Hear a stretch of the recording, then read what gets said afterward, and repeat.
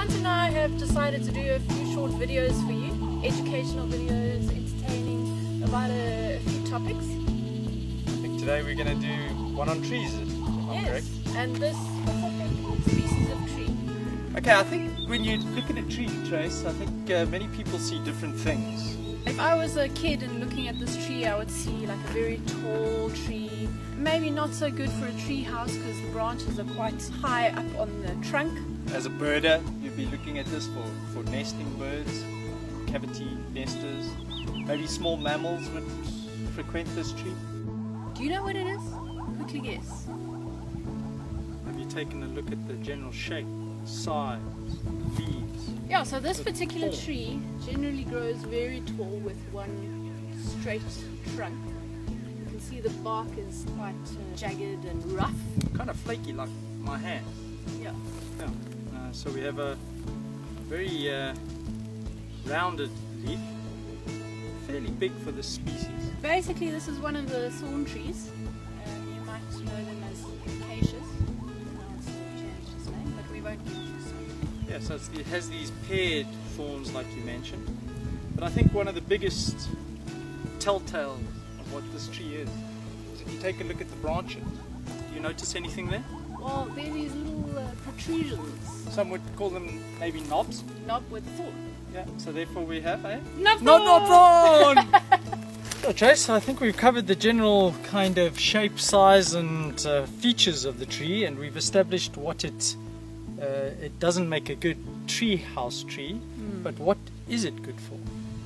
Well, it's good for many things. Uh, the knobthorn is very iconic tree in this savanna habitat and it's highly important for many different aspects of the environment, many wildlife species.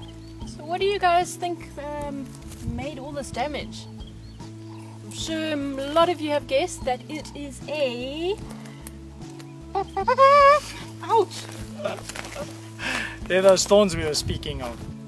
So an elephant would come up to this tree and pry up the bark with their tusk and then strip off this cambium layer.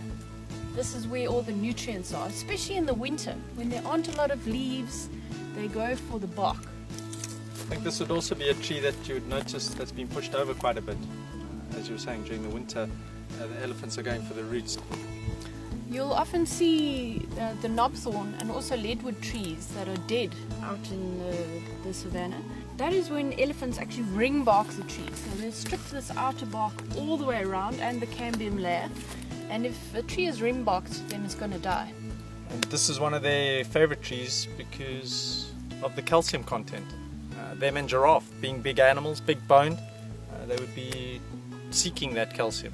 Trace, if this is an indication of an elephant feeding on this tree, what uh, would uh, a giraffe feeding on the tree look like? Well, if a giraffe has been feeding on the tree, you might see the browsing line, which is a very the flat line that you see where they can reach to, or you might see an hourglass shape of the, the entire tree. So let's look at what different kinds of animals and creatures inhabit this tree. Cool, Tracy.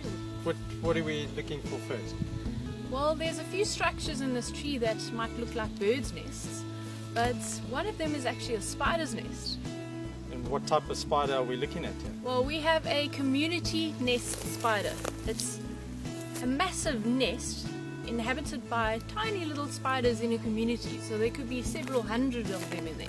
So these spiders catch little insects in the sticky web around the outside of their nest, and then uh, they bring it into the nest and they all feed communally on this uh, on the prey.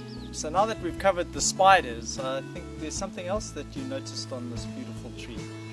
Yeah, right up top there is a parasitic plant growing on this knobthorn tree. It is a mistletoe. Are we standing directly underneath this mistletoe?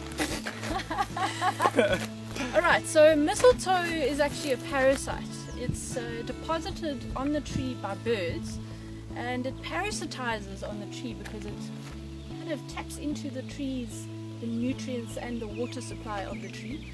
So it will have a flower which contains the seed and then the birds will come and feed on this one and so spread it again. The mistletoe flower is actually very important, especially in the winter, because it's one of the only plants that flower in the winter. So it's an important source of nectar for sunbirds and bees, and even elephants will push over Knobsville just to get to that sweet flowers.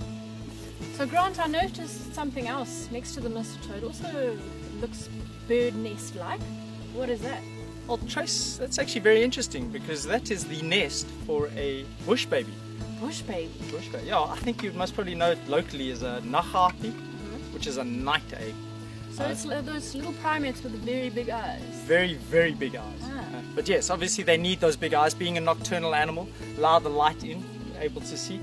Uh, but yeah, they're little insect eaters. So do they always make these nests? Uh, they won't always use a nest. Um, often you, they use cavities in trees and things like that. Uh, that would be obviously first prize. But otherwise, they build these nests. Again, we were talking about this knobthorn tree with the hundreds of thorns. It's great protection for them. Uh, and they also feed on the gum of trees, and this would be one of them as well. So it also uh, it's a food source to them. So Trace, I think it's getting rather warm out there. As you can see, I'm starting to break out into a sweat. So I think I'm going to use the shade of this tree to maybe uh, take a break.